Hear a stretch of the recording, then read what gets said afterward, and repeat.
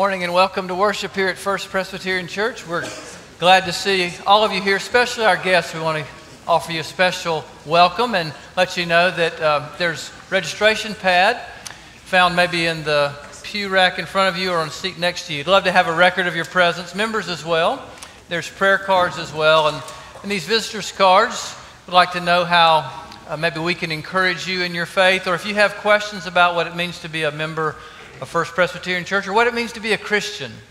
Uh, we'd love to talk to you. Our pastors are at the exit doors after the service and elders as well to talk to you about uh, how we can assist you in that way. I want to call your attention to a few announcements.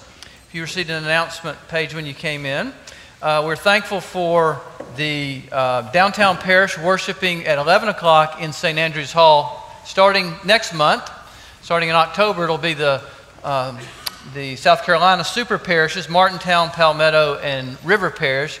Thank you for serving the body of Christ. It's also a good time for you to fellowship with others in your parish, frees up space for many visitors and new members who um, worship here at 11 o'clock. So uh, let's uh, mark that down, South Carolina Super Parish. And then there's some prayer times. Women's prayer time today at 5, and also a prayer time for missionaries. Carrie and Chris Drinkard are back uh, briefly here from Manila, and they'll be sharing during that time. And then just notice announcement seven about the safety team is uh, preparing for an evacuation or preparation for an evacuation drill. And uh, just in case of emergency, we haven't scheduled that, but just uh, we're thankful for leaders who look for ways to make sure that we're prepared for whatever circumstances we might find ourselves in. Now, our theme for our worship this morning, our theme for the service is hope. Let's prepare our hearts as we listen to the sung meditation.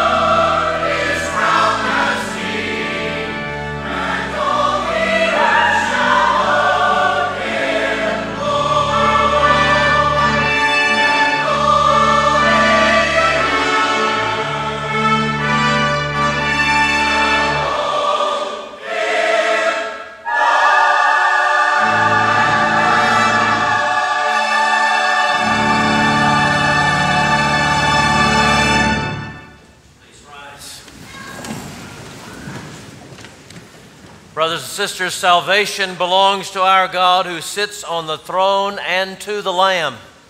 Praise and glory and wisdom and thanks and honor and power and strength be to our God forever and ever. Amen. The Lord be with you. Let us worship together our Lord Christ.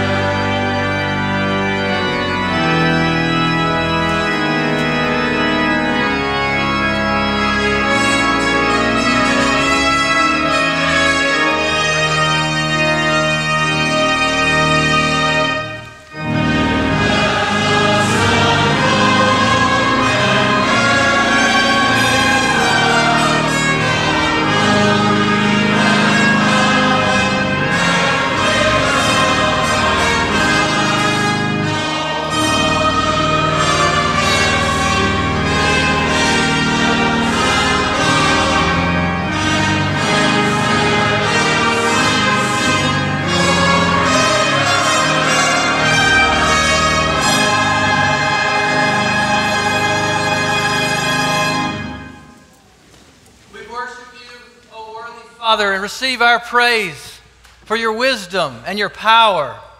We're here to put our hope in you. We worship you, Son of God, our Savior. Receive our praise for your sacrifice and for your, your obedience. We're here to put our hope in you. Holy Spirit, receive our praise for your comfort, for your nearness. We're here to put our hope in you. And Father, if there's anyone who does not know the peace and the favor and the comfort that belongs to those who belong to you, today would this be the day that they put their hope in you? Change us, transform us. Help us to live in the hope that belongs to those who belong to you.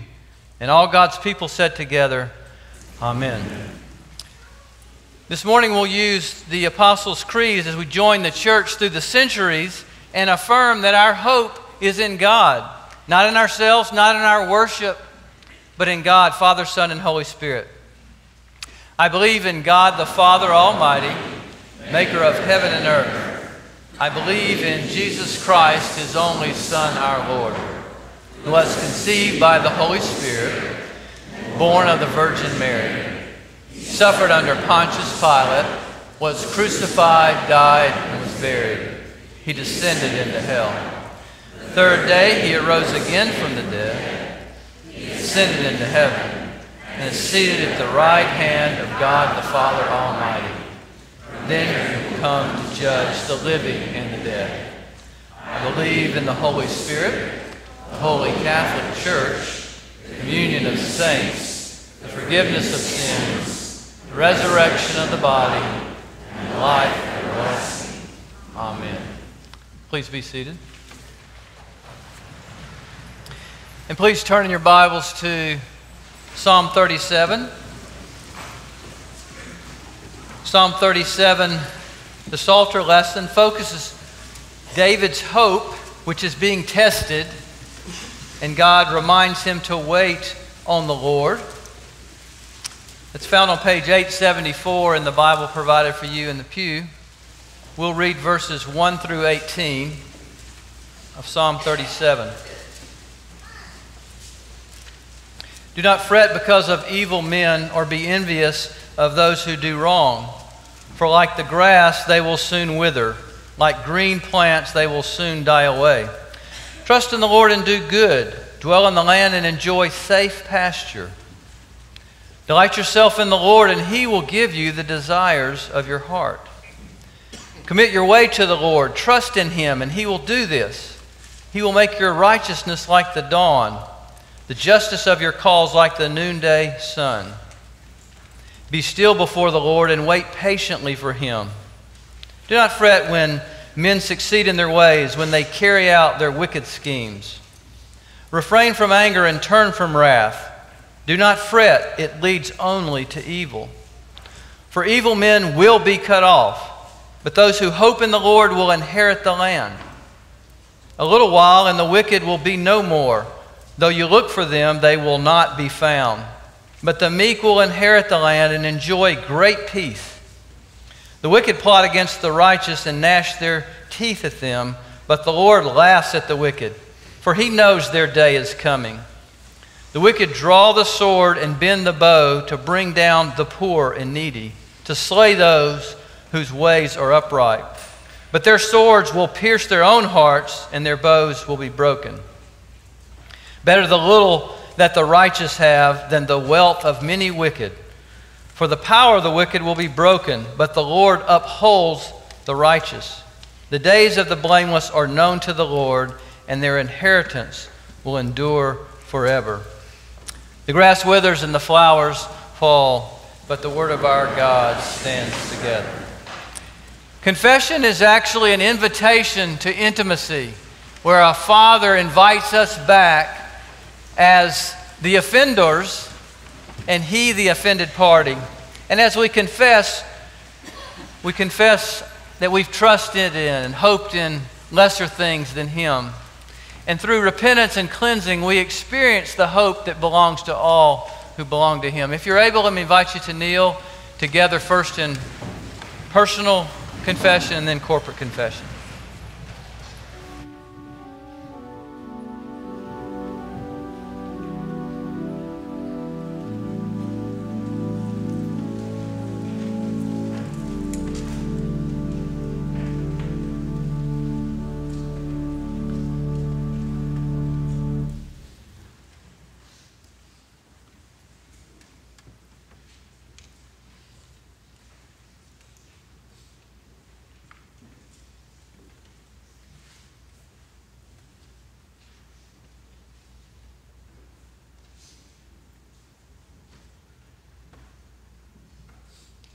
Confess our sins together.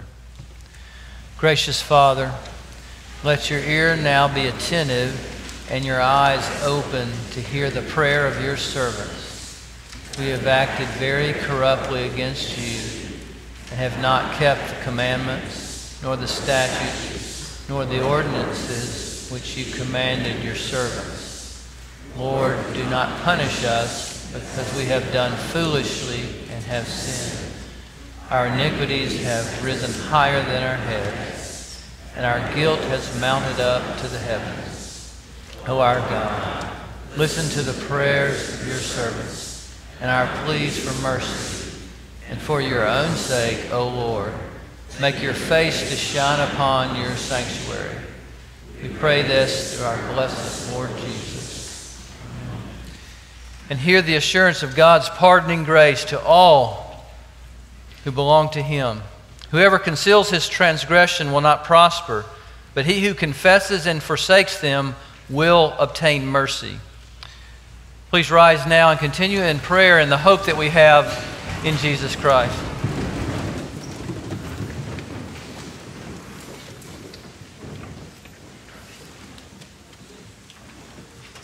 Holy Father, we thank you that we have the privilege of coming into the presence of one who has identified himself to us as the Father of mercies.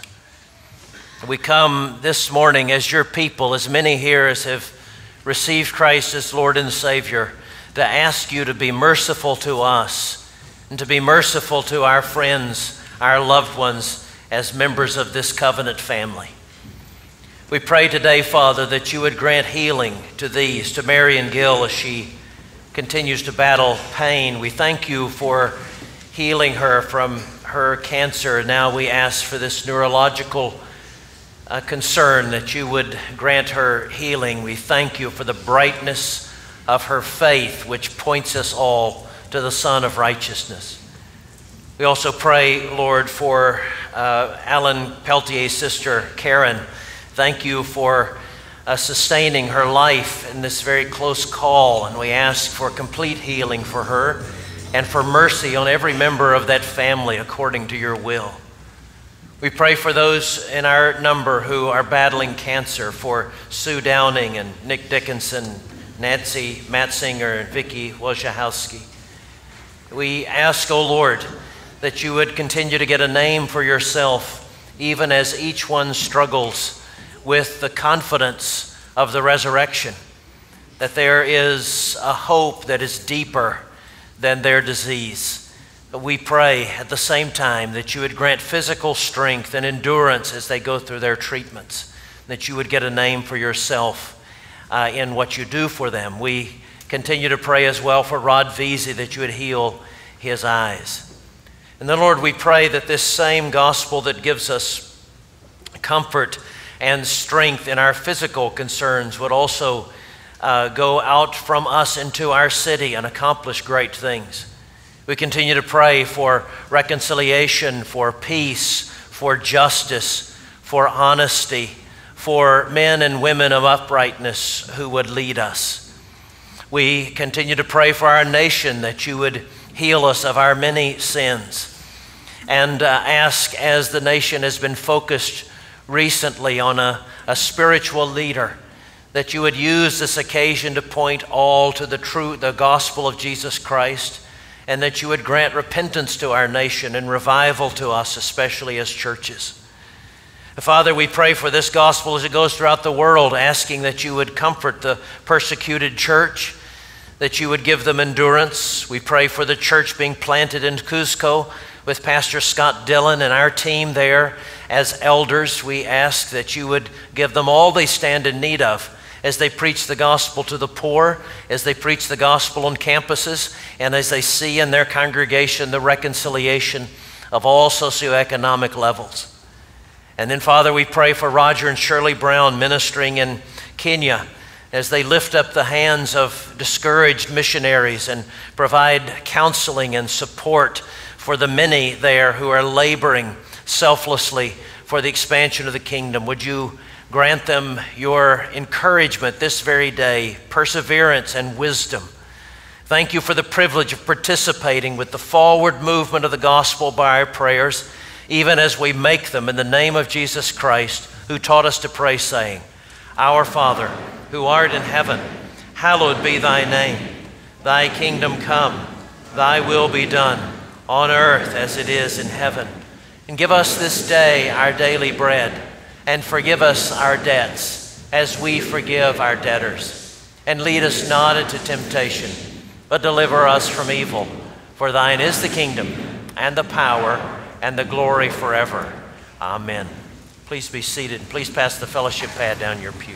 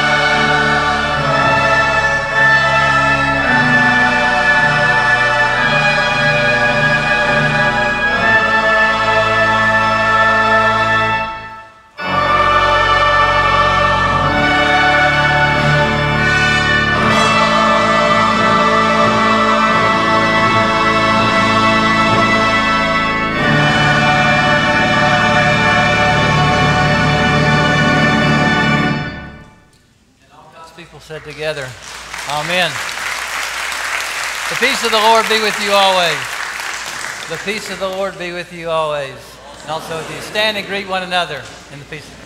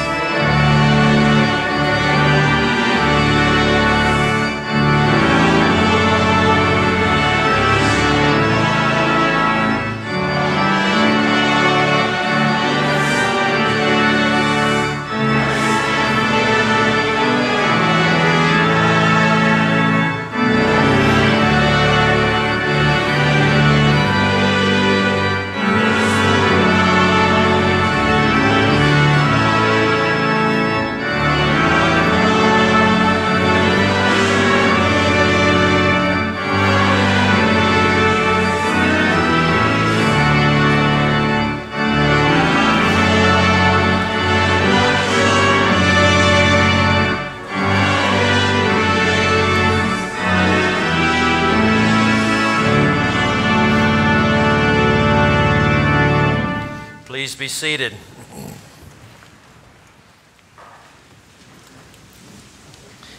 I don't know about you, but I feel like I have heard the angels, and we certainly had trumpets. Tonight we'll have a blood moon. It's a perfect time for the Lord to come back. We'll study it today, be ready for it tonight. Please turn with me to Revelation chapter 7. We're in this small series within the book of Revelation about the seals. There was a document of sealed with seven seals that we read about that only the lamb slain seated upon the throne was qualified to open and we studied those the opening of those first six seals and uh, we went into chapter 8 to look at the seventh as well. Uh, but uh, here he takes a break and in chapter 7 answers a question. That question was asked at the end of Revelation chapter 6. And it's the question that is asked throughout Scripture. We heard it implied even in Psalm 37, our Psalter lesson. Which way are you on?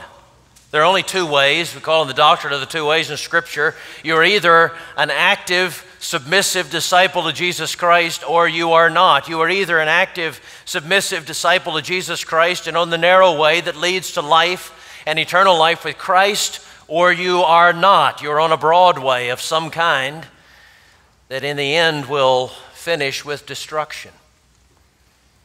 And so at the end of chapter 6, I want you to notice it, John asks this question The great day of their wrath, that is, the wrath of the Lamb, the great day of their wrath has come. And who can stand? Who will stand under the wrath of God being poured out already on the world and someday completely at the end of time? Here is the answer Revelation chapter 7, we begin reading in verse 1. After this, I saw four angels standing at the four corners of the earth, holding back the four winds of the earth to prevent any wind from blowing on the land or on the sea or any tree. Then I saw another angel coming up from the east, having the seal of the living God. He called out in a loud voice to the four angels who had been given power to harm the land and the sea. Do not harm the land or the sea or the trees until we put a seal on the foreheads of the servants of our God. And I heard the number of those who were sealed 144,000 from all the tribes of Israel. From the tribe of Judah, 12,000 were sealed. From the tribe of Reuben, 12,000. From the tribe of Gad, 12,000. From the tribe of Asher, Naphtali, Manasseh, Simeon, Levi, Issachar, Zebulun, Joseph, Benjamin, 12,000 each. After this I looked, and there before me was a great multitude that no one could count from every nation, tribe, people and language standing before the throne and in front of the Lamb. They were wearing white robes and were holding palm branches in their hands, and they cried out in a loud voice Salvation belongs to our God who sits on the throne and to the Lamb. All the angels were standing around the throne, around the elders, the four living creatures. They fell down on their faces before the throne and worshiped God, saying, Amen. Praise and glory and wisdom and thanks and honor and power and strength be to our God forever and ever. Amen. Then one of the elders asked me, These in the white robes, who are they? And where did they come from? I answered, Sir, you know. And he said, These are they who have come out of the great tribulation. They have washed their robes and made them white in the blood of the Lamb. Therefore, they are before the throne of God and serve him day and night in his temple. And he who sits on the throne will spread his tent over them. Never again will they hunger, never again will they thirst. The sun will not beat upon them, nor any scorching heat. For the Lamb at the center of the throne will be their shepherd.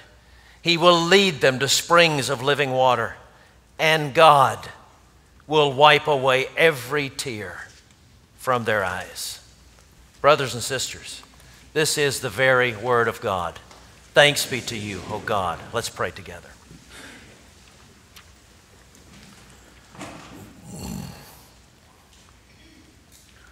Holy Spirit, we pray that you would fall on us unmistakably and open our eyes that we might see beautiful things from this portion of the gospel. Beautiful for those who cling to Christ, terrifying for those who do not. But may this, by the end of the day, be something beautiful in their eyes too. In Jesus' name we pray. And God's people said together, Amen. Sometimes you can see that doctrine of the two ways illustrated in two lives that are in juxtaposition, that are in parallel, on parallel tracks, or seem to be. For instance, I saw it in a classmate of mine in seminary. We started seminary together, even though he was about uh, 15 years my senior because he had already had a very successful legal career representing famous musicians, especially in the country music world. And uh, he had risen to the pinnacle of success and gotten everything that he had ever wanted, even some things that he should not have had. And when he got it all, when he got to that place, he realized that he was empty. And the Lord used that as a mercy. It was a severe mercy in his life, but that severe mercy drove him to the Lord Jesus. He came to Christ. He went back and practiced law for a time. It was a noble calling for sure, but he realized that his, he was called to do something with the rest of his life, to make a different kind of impact on men, especially for Christ. So he came to seminary. We started together. He got several degrees there and then spent the rest of his life investing in discipling men on this continent and in Eastern Europe. A few years ago, my dear friend passed away. He died nearly penniless. He'd sold everything to go to school, to supply, to support his ministry and his family. But he was happy. Though he was crippled with a wasting disease, he was happy. He died in the confidence of Christ and his hope of the resurrection. Now consider how opposite has been the life of one of his primary clients, whom I read interviewed this week, Jerry Lee Lewis the killer, the pill popping, alcoholic, womanizing Jerry Lee Lewis, who admitted that though he had been raised by Southern Baptist parents in the southern part of Louisiana, he was terrified of what lay, what, uh, lay in the future, or what lies for him in the future. He's terrified. He said he's never known whether he would go to heaven or hell. He's always worried about that. And he said, Every night when I go to bed, I worry, where am I going to end up should I die tonight? That was not the question of his lawyer. His lawyer could have told him and did tell him there is a way to live and die confidently, but that confidence, that assurance must be outside yourself, and it's found in this passage. It's found in the Trinitarian God who saves. It's found in the blood of Jesus who saves. It is found in the Father who serves us physically, emotionally, and spiritually. It's found in the Holy Spirit who seals the love of God to us. I want you to notice the very heart of the passage in verses 10 through 14. We would expect the center or the main point of the passage to be found in the center of this text. That's the way Jewish writers wrote. And here in verses 10 through 14, centering on the throne of Jesus Christ is the center for a confidence and assurance for those who put their faith in Christ. It's in the blood of Jesus. The blood of Jesus that not only atones for our sins, but satisfies our righteous need in our lives. And you notice in this passage that the blood of Jesus saves us from two things. It saves us, first of all, from fear. Look at verses 10 through 12. The fear of those forces that are drawn up against us that we studied a couple of weeks ago, those forces that are drawn up against us to destroy us, spiritual forces, physical forces, bent on our destruction. But these, gathered in front of Christ on his throne, are not fearful. They're not afraid of those forces. They are like those children who welcomed Jesus at Palm Sunday. Remember them shouting, Hosanna, which means God save us. And then, without any fear of those who are judging them around them, they pick up their palm branches and they're waving them in complete abandon. That's what's happening to all of these who are gathered before the throne. Absolutely no fear, but worshiping with abandon because God has dressed them in white. He's justified them by the blood of Christ. I told you last week about Anne Bradstreet, that daughter of the Puritan governor of Massachusetts Bay Colony in the 1600s, who, who, who even as a, as a housewife and a mother of eight, with her poetry, rose to prominence on par with the great, uh, the great uh, writers of England. And she talked about how her difficulties had pointed her to Christ. Well, she went on to say, as she thought about her own crippling arthritis, as she at times felt completely helpless to do anything for the Lord. She thought about the, the day she would be in heaven. She thought about the martyrs who were dressed in white. And then she concluded this Though I am obscure and small, I will be dressed with as great a luster as any because I will be made so by the Son of righteousness. Her confidence was that when she appeared before the throne of Christ, she would not shrink in fear. No forces would be able to keep her from getting there. But she, wrapped up in the glow of Christ's righteousness, would shine as brightly as any martyr because she'd be dressed with the very robes of Jesus. She's not afraid of forces. The blood of Jesus also removes fear of the future. Look at verse 12. Verse 12, there is this song that begins with Amen. And then the praise hymn that we've seen before, and it ends with Amen. And we've already noted, coming from chapter 8, that Amen is the last word of history that God will speak the last word of history. Christ will declare, All has been conformed to the praise of his glorious grace. Everything has occurred just as I said it must. Amen. And so every time we say amen, at the end of a prayer, in the middle of a sermon, at the end of a hymn, we are declaring that Christ will gain the victory.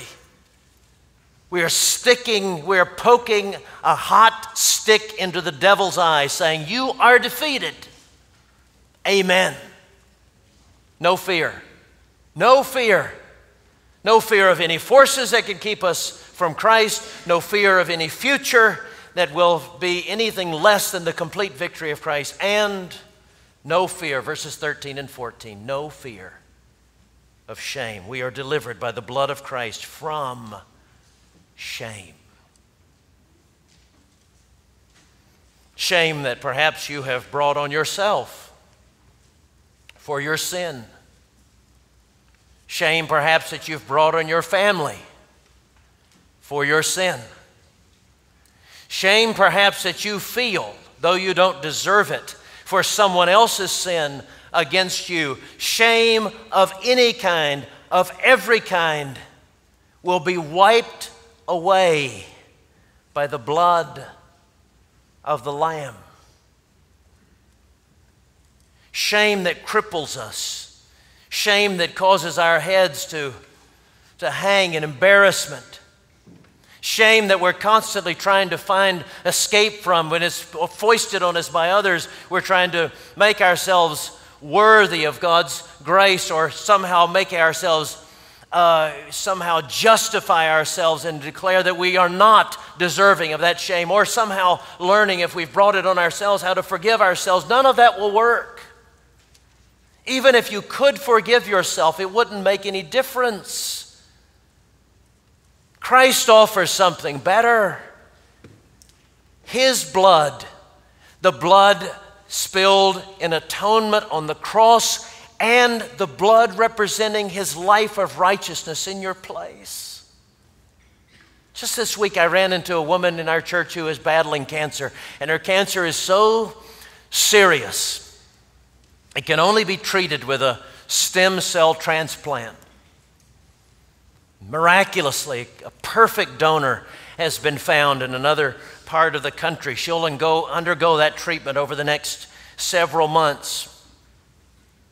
And she said, They explained to me, George, they explained to me how that treatment works. My doctor told me this week. He said, It's just like this your blood, which is killing you, will be removed.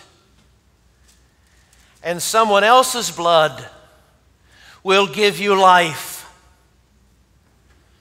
And she started crying and she said, I've already been through that. Jesus has taken away my blood and given me his blood. He's taken me to death and brought me back. I know what that means, doctor. No matter what you're afraid of, no matter what brings you shame, Jesus Christ's blood cleanses from every sin. And when it is received, you may die in confidence. But he gives you more. In our passage, the Father says that he'll not only save you with his Son's blood, but he'll restore you with his personal service. Look At the end of the passage, verses 15 to 17. They are before the throne, that is, the people dressed in white, the Christians. They're before the throne of God and they serve Him day and night. And He who sits on the throne will spread His tent over them. Never again will they hunger. Never again will they thirst. The sun will not beat upon them, nor any scorching heat. There's an allusion here to several Old Testament passages. There is the allusion to Psalm 91, we'll talk about later. There's allusion to Isaiah 49. Isaiah 49, uh, the Lord is addressing his people who are in Babylon. And you remember why they're there. They're not there because they were following the Lord. They were there because they had pursued idols and because they would not repent, and God sent them prophets over the course of hundreds of years. They continued to sin, and God said, I'm going to send you into exile into Babylon. You will be slaves there. Your service will be hard. But even there, I will lead you beside life giving waters. I'll provide for you physically, in other words. God the Father says to those who are under the blood of Christ, He says, I will take care of you physically, whether you deserve it or not. I don't know about you, but most of the fixes I've gotten myself into physically by injury or by financial need or by legal issues, whatever it is, I've brought about on my own. There have been very few times that I can say, well, this is, I'm truly sinned against. So the Lord, I deserve now that the Lord would take care of me physically. You never deserve it. And so the Lord says, I have sworn to you, I have covenanted with you to take care of you physically. And in all times, whether you're seeking Him or whether you've turned away from Him or whether you are seeking Him, you're always to be seeking Him. And He says that's your only job. Your only job is to seek the kingdom. Seek first the kingdom of God, and all of these things food, shelter, and clothing will be added to you. It doesn't say, seek first the kingdom of God and you will be rewarded with these things. It certainly does not say, seek these things, which many of us are. It says, seek first the kingdom, and I'll add these things to you. What is needed, maybe not as much as you want, but I'll always provide. And who better to make that promise than the Lamb who has become our shepherd? You notice the, the metaphor changes. The Lamb becomes the shepherd. Who more qualified to be a shepherd than somebody who's already been a lamb? Who more qualified to be the one who tells us, don't worry, than one who not only was, but is a human being sharing our flesh? He says to you, I am the representative of the Father. I have come to take care of you physically, to save you from the scorching heat of the day, to provide for your sh- food, shelter, and clothing. But then the most beautiful verse occurs, perhaps in all of the Bible, in verse 17, when he says, The Lamb uh, on the throne will be their shepherd, and he will feed them, lead them to springs of living water, and God will wipe away every tear from their eyes. You know, the psalmist says that God stores up our tears in his bottle. In the ancient world, people kept precious liquids, water from a certain important stream, or uh, ointments that had been passed down from one generation to the next. So when the Lord says that your tear, the tears of his people, he stores up in a bottle, he means your tears are precious to him. Charles Spurgeon, in a sermon on this text, once said, that the Lord has not one but three bottles in which He stores up our tears. He has a bottle in which He stores up our tears of disappointment. You know, all of those tears that you've shed over dreams that have died, either because you've killed them or because they've been killed by, by life. Dreams you had for your children, dreams you had for your parents, dreams you had for your life, dreams you had a physical accomplishment that can't be performed now because of some handicap or illness. He stores up those tears of disappointment. And Spurgeon said he has a, he has a vial of tears for our sin. Tears we've shed for our sin and rebellion.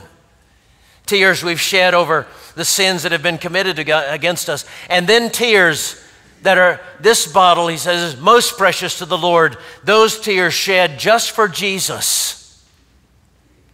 Uh, tears that we've shed in complete harmony with His will, where we have wept over those things that make Him weep, those who are rebellious against Him, those who are running away from Him, lost souls, the ravages of death. And God Himself says He stoops down and will stoop down at the end of time and take your face in His hands and with His thumbs carefully wipe away every tear of disappointment and every tear shed for sin and every tear shed for His Son. There's no need to die without confidence when you know that the Lord Jesus has saved you with his blood and the Father himself will serve you with his with his mercy. There's a third reason according to this text that you should be confident if Christ is indeed your savior. It comes at the beginning of the passage. And it's because you've been sealed. Verse 1 John sees four angels standing at the four corners of the earth, holding back the four winds of the earth to prevent any wind from blowing on the land or on the sea or any tree. The promise here is that he holds back these ravaging winds, these, these symbols of judgment that can come from any direction. And he says, You can go only this far, but you cannot attack ultimately, you cannot destroy ultimately the souls of those who have been sealed by my Spirit. Now, a seal does several things. In the ancient world, still does several things. A seal, for one, prevents tampering. You get your aspirin bottle, and there's a seal on the top of it, assures that somebody has not tampered with it in some way that could kill you. A seal is also affixed to something to prove you own it. You sometimes have a brass plaque or there's, a, there is an inscription. And then a seal uh, is sometimes attached to something to prove its genuineness. You buy a souvenir, something from a MLB has a seal on it that proves its genuineness. And so the Lord says that in His mercy, when Christ is your Savior, He attaches a seal to you. The Holy Spirit is the, the agent of that sealing, and He marks you in such a way that though the devil may buffet you, you're going to have a hard time. He can even kill you in this world, but He can never ultimately destroy you. No matter what happens to you, by God's providence and His sovereignty, He limits its ultimate impact. We sing that song, for instance, about of uh, Augustus Toplady. We sing that hymn sometimes in the evening service when he's talking about saints in heaven and saints below. And he says, Those saints below, still on the earth, or those saints in heaven uh, who are in the presence of God, they may be more happy, but they are no more secure than those on earth. Spurgeon says that ill is not ill with those who are sealed by the blood of Christ. We are only we only experience his goodness in mysterious form. Death is a reward, reproaches are our honor, sickness is our is our medicine. The Lord preserves us. That's the first thing a seal indicates to us. We are going to be preserved. The second thing a seal does is to prove ownership, and that's what this seal does for us too in verses 4 and following.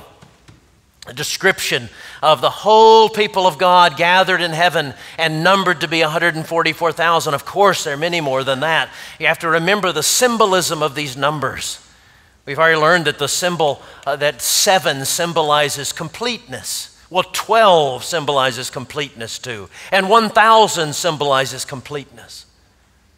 So here, John says, it is 12 times 12, comfort, completeness, doubled, 12 times 12 times 1,000. Your comfort is triply assured. God numbers every one of his own by placing a seal on them by the Holy Spirit. We're told in Ephesians chapter 1 verse 13 that when you have believed, you are sealed by the Spirit, a deposit guaranteeing your inheritance. Though it may all appear to us at the great day that, the, that those gathered in front of the throne are without number, it's not true. There is a number. God knows it. And God has not only numbered you, He's numbered the hairs on your head. The seal assures that we will be preserved. The seal assures that we are owned individually, very meticulously. But then the seal functions in this way it proves that we are genuinely children of God. The New Testament wraps up all of the doctrine of the Holy Spirit this way, especially in Romans 8, verse 16. The Holy Spirit takes the redeeming work that Jesus Christ has accomplished and he seals that to our account. That's the official work. It has happened. You probably didn't feel anything except to be liberated uh, in your conscience, but that has occurred. It's official. But then, the Lord, being the tender Father that He is, knows there will be times when we doubt it. And we'll doubt that we're loved, and we'll doubt that we belong to Him. We'll think that He forgot our number. We'll wonder if we're ever going to make it, that if we're ever going to be destroyed permanently.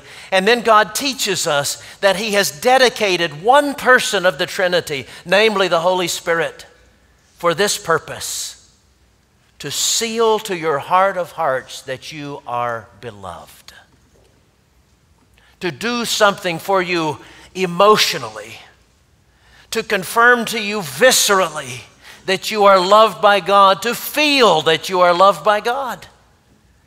Paul says that uh, we have not been given a spirit of fear leading to slavery again, but we have been given a spirit of adoption by which we, are, we call out Abba Father. The Spirit, he says, bears witness with our spirit that we are children of God. That's the sealing work of the Spirit. You know, old preachers, old pastors, uh, always encourage their, their parishioners to pray for the sealing work of the Spirit. I urge you to do the same. To embrace Christ, yes, to ask for forgiveness of your sins or receive his gift of righteousness, but also to pray, Lord, seal to my spirit in a way that I know that I know that I am the beloved child of God. The most brilliant of the Puritans, Thomas Goodwin, used to tell his parishioners pray for the sealing work of the Spirit, urge the Father to do it, tell him it will make you more holy. It does make you powerful. There's nothing like being convinced that you are loved by God as much as He can ever love you in Jesus Christ that will repel temptation. There is nothing like being convinced that you are loved as much as you'll ever be loved by the Father through Jesus Christ that makes you a formidable force against the devil himself.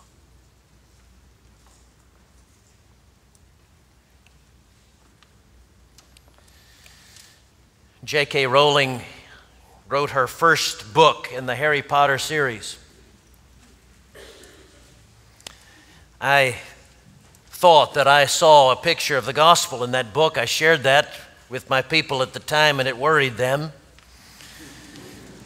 They were believing all of the fearmongers who were saying that this is going to end up in a very bad place and it's going to lead to everyone being possessed by the devil and so forth.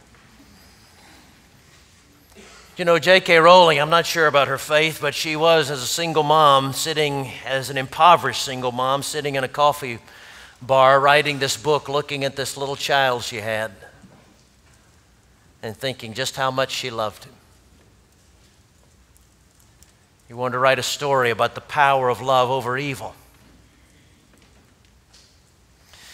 Harry Potter, of course, is the main character. Voldemort is the evil spirit that wants to kill Harry and all on the side of good. Voldemort tried to kill the whole of Harry Potter's family, but his mother saved him by throwing herself in front of Voldemort's curse. Harry Potter didn't know why his life was the way it was at first, didn't know why he didn't have parents, didn't know why he had to live with this miserable aunt and uncle, didn't know why he had all these strange things happening around him until a professor eventually explained to him this. Your mother died to save you, Harry. If there's one thing that Voldemort, the evil one, cannot understand, it is love. Uh, he, didn't, he didn't realize that love, as powerful as your mother's, for your uh, lives to leave such a mark on you he didn't realize that it had such a power to produce a scar, not a visible sign. He didn't realize love's power, to have been loved so deeply, even though the person who loved us is gone, that power will give us some protection forever.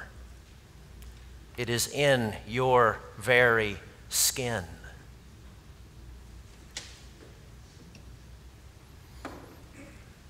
God the Father has put a seal on you if you belong to Him. He's put a seal on you that cost Him the life of His very Son. He's put a seal on you that He has personally administered and that He will continue to administer until He has wiped every tear from your eye. And He's put a seal on you that is no one less than the Lord Jesus Christ visited to you in the Holy Spirit who works that sign, that scar into you, into your very skin, such that He can say, Christ is in you, the hope of glory if that Christ is your Savior, then you may live and die in complete confidence. Let's pray together.